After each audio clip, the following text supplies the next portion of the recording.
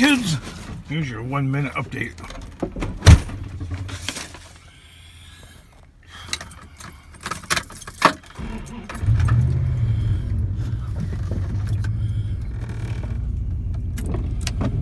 Oh, yeah, back to the one minute update.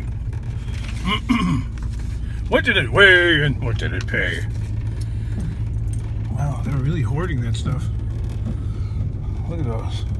Wow. Wow.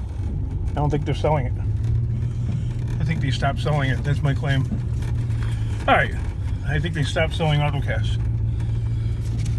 And heavy iron, I think they just stopped selling it.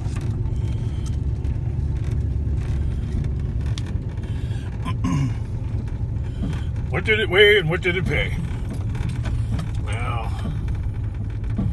720 pounds of aluminum, 22 cents a pound, $158. Killer. Horrible prices. And they're going lower. This place used to be $100 a ton just yesterday. Now they're 90 So I bet you the other yard, Water World, is probably going to be about $76 in next day or two. And going lower, this is going to end up being free or 20 bucks a ton. In my area, it'll probably drop down to $25 a ton.